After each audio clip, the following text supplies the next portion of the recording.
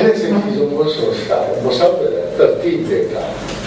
وہ خوبصورتی تخلیق کر رہا تھا خود واللہ جمیل الوجہ الجمال حسین تھا اور حسن کرم کر رہا یہ خدا ہی کو زیب دیتا تھا کہ وہ اپنے لیے کسی ایسی مخلوق کو تخلیق کرے جو اس کو اپریشیٹ ہے کہ چاہو منصب و تکبر اللہ کی دعا کبریائی میری چادر ہے جو اسے مجھ سے چھینی گا میں اس کے خلاف خود کروں گا جیسے اللہ نے کہا اگر اس میں یہ سوال کہ اللہ کو کیا ضرورت تھی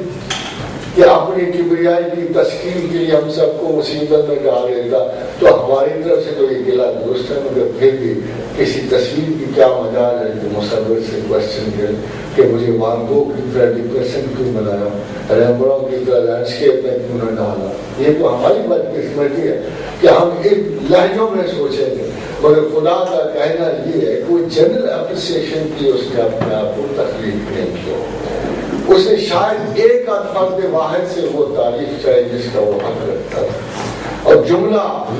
انسانوں میں پھر ان ایک آدھ انسانوں کو اس نے چنا۔ جیسے اس نے حضرت ابراہیم کے بارے میں کہا قوت کا خزو ابراہیم خلیلہ ہم نے ابراہیم کو سچا دوست بنا دیا اب دیکھیں خدا کی دوستی کے لمٹس کیا ہے کہ آج نو ہزار گزار سال گزرنے کے باوجود آپ کا حل ہے کیا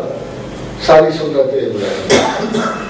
سارے، حتیٰ کہ جس پتھر کو ابراہیم کے ہاتھ لگے تھے، آج بھی تمام جملہ مومنین اس مخلص دوست کی یاد کو تازہ کر دستے، لمسے دستے ابراہیم چومتے ہیں اس پتھر۔ اس کے علاوہ کیا؟ ہے بلکہ آپ گمان کریں کہ خدا کی دوستی کا یہ حال ہے، محبت کا انسان کے کہ جب صحاب رسول نے عرض کی، یا رسول اللہ، باقی تو آج کی رسمیں ابراہیم کی ہیں، مگر صفا و مروا تو نہیں ہے۔ صفا و ملوہ میں تو ابراہیم نہیں تھے، پھر ہم صفا و ملوہ چھوڑ نہ دیں۔ تو اتنے کہر میں آئے خدا ان کے زلجلال والاکرام فرما ان صفا و ملوہ کا من شاعر اس کی بیوی بھی میرے دوست کی بیوی کا بچہ بھی میرے دوست کا بچہ ہے مجھے ان سب سے اتنی شدید محبت ہے اور یہ بھی شاعر اللہ میں سے ہے یہ میرے طریقوں میں سے ہے کہ تم میرے دوستوں کی یاد بلند کرتے رہو انفیکٹ انہی انہی کی خاطر میں تو کہتا ہوں کائنات دوستی کی پیدا محبت اور اس تعلق کے خصوصی کے پیدا ہاں اس میں رینک سے ریکگنیشن کون کس کے لیے پیدا ہوا؟ اگر ہم ان تمام حدیثوں کو ترک بھی کرتے، انہیں کمزور مانے اور صحیح نہ مانے جو حضور صلی اللہ علیہ وسلم کے بارے میں ہے کہ اولا ما خلق اللہ نوری کہ خدا نے سب سے پہلے میرے نور کو تخلیق کیا اور اس کے بعد دو قلم کو تخلیق کیا اور چاہا کہ کسی کے نام لگے یہ کائنات۔ تو کائنات کی تخلیق خدا کے لیے معمولی ہے۔ اگر آپ دیکھیں تو نفس انسان کو اللہ نے اتنی بڑی تخلیق قرار دیا ہے، کوئی تمام تخلیقات سے بڑی ہے۔ وشمس و دعا والقمر اذا طلعها والنهار اذا جلها والليل اذا يغشاها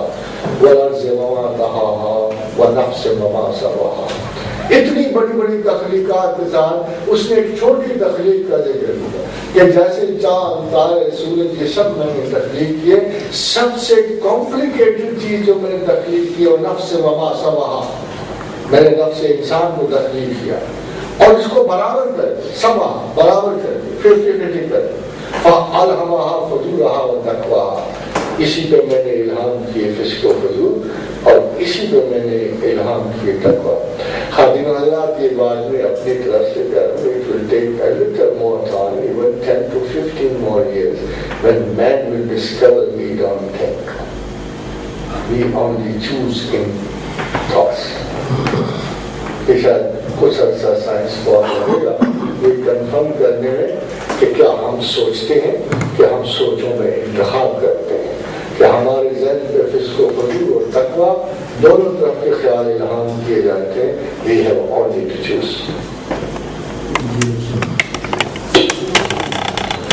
یہ آپ نے اپنے لیکچر میں فرمایا کہ ایمان جو ہے وہ دل کو سکون دیتا ہے۔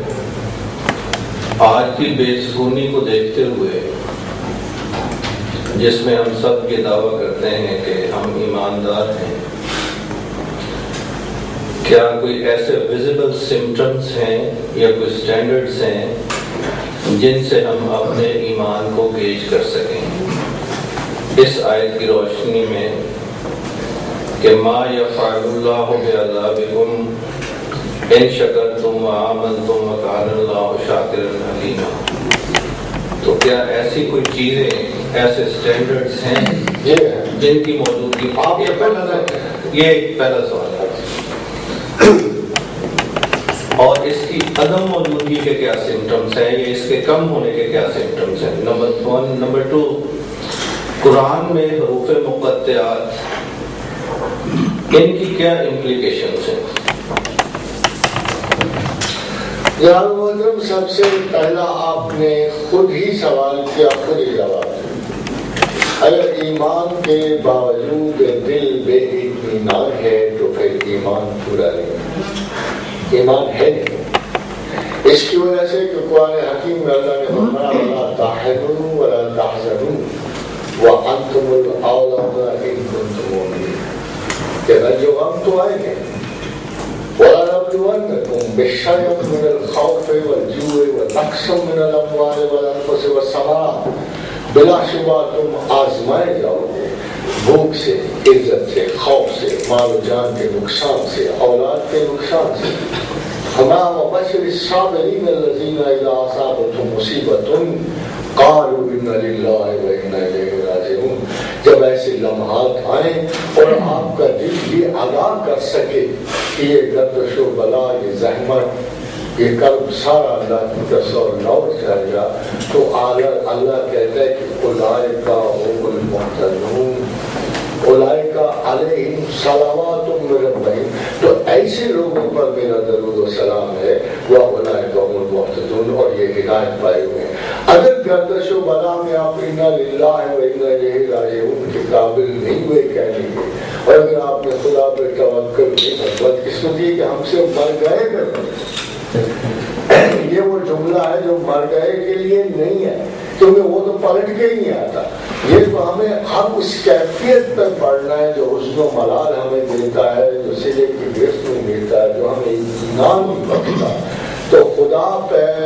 یقین رکھنے والے، ایمان رکھنے والے قطعا جو ہیں آزردہ خاطر نہیں ہوتے، بلکہ ان راجون پر جو فارغ ہو جاتے ہیں۔ مگر انسان میں کچھ پہلو ایسے، اس کے جبیلی اقدار ایسے ہیں جو اس میں نسبتاً دوسروں سے زیادہ میں کو دس کیس تو نہیں بتا جاتا مگر آپ کا اس میں گرام میں پتا ہو تو شاید میں بتا دوں کہ آپ کی کیا چیز ہے جو باقی ضرورتوں میں نظار کو اپسٹ کرتی ہے، آپ کو کاز کرتی ہے، جو آپ کے اس ایمان میں حائل ہو جاتے ہیں سم ٹائم ایک ایکسیسو جبلن جو ہے۔